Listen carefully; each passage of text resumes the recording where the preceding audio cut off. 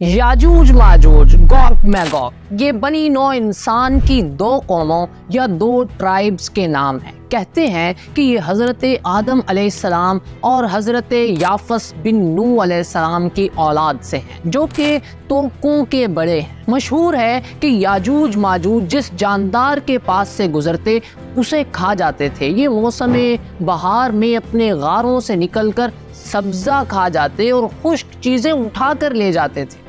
इनके पंजे और दांत दरिंदों जैसे, और इनके बाल इतने लंबे हैं कि इनका जिसम छुपा लेते हैं। मसीही सहीफ़ों में याजूज माजूज को खुदा के लोगों के ख़िलाफ़ बुरी ताकतें कहा गया है। मगर इन सारी बातों का हकीकत से क्या लेना देना है, वो तो हम जानेंगे अपनी इसी वीडियो में। मगर एक शख्स जिसने सीना तान कर इनका मुकाबला किया, वो कुरान मजीद के मुताबिक हज़रत जुलकर नैन जिन्हें साइरस द ग्रेट भी कहा जाता है और इनका दौर हज़रत ईसा सलाम से पहले का दौर। इंसाइक्लोपीडिया ब्रिटानिका से मुंसलिक रिचर्ड एंड फ्राई की तहकीक है कि हज़रत ईसा की पैदाइश से 590 या 580 बरस पहले पैदा होने वाले साइरस आज़म, यानी कि साइरस द ग्रेट ने आखमीनी सल्तनत की बुनियाद रखी, जिसका मरकज़ फारिस था। हज़रत जुलकर नैन को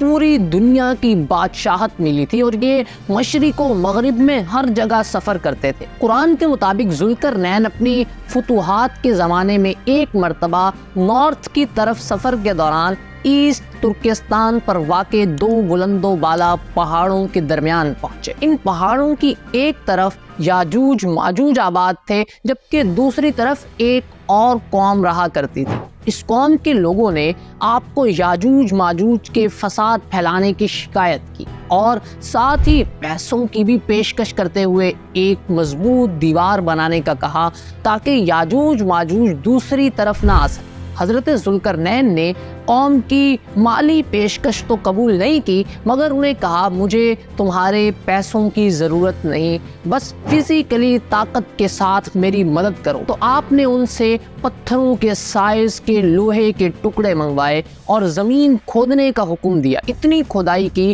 कि ज़मीन से पानी निकल आया तो आपने पहले पत्थर रखवाए और पिघले हुए तांबे के ज़रिए उन पत्थरों को जमा दिया। इसके बाद लोहे के टुकड़े पहाड़ की बुलंदी तक ऊपर नीचे रखवाए और इन टुकड़ों के दरमियान लकड़ी और कोयला भरकर आग लगवा दी।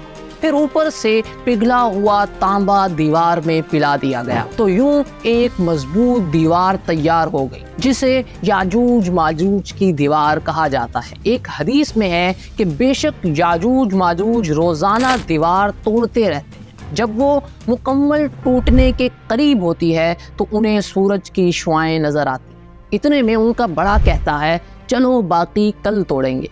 तो अल्लाह उस दीवार को पहले से भी मज़बूत बना देता है। जब इनकी कैद की मुद्दत ख़त्म हो जाएगी और खुदा उन्हें लोगों के सामने ज़ाहिर करना चाहेगा तो उस दिन जब वो सूरज की शुआएँ देखेंगे तो उनका बड़ा कहेगा, चलो इन बाकी कल तोड़ेंगे। जब वो अगले दिन आएँगे तो दीवार इतनी ही होगी जितनी छोड़ कर गए यूँ वो बकिया दीवार तोड़कर बाहर आ जाएँगे। जब वो दीवार तोड़कर बाहर निकल आएँगे तो ये ज़मीन में कत्लो गारत गिरी करेंगे। लोगों को नुकसान पहुंचाएँगे और खून खराबा करेंगे। ये सब क़यामत के करीब होगा और इसी दौर में हज़रत ईसा सलाम दुनिया में आ चुके होंगे और वो इनके लिए हलाकत की दुआ करेंगे। तो अल्लाह इनकी गर्दनों में कीड़े पैदा कर देंगे। जिससे ये फ़ौरन मर जाएँगे, यूँ याजूज माजूज का खात्मा हो जाएगा। ये सारी बातें वो हैं जो हमें इस्लाम बताता है। मगर इस्लाम से पहले आने वाले मजाहिब के पैरोकारों में भी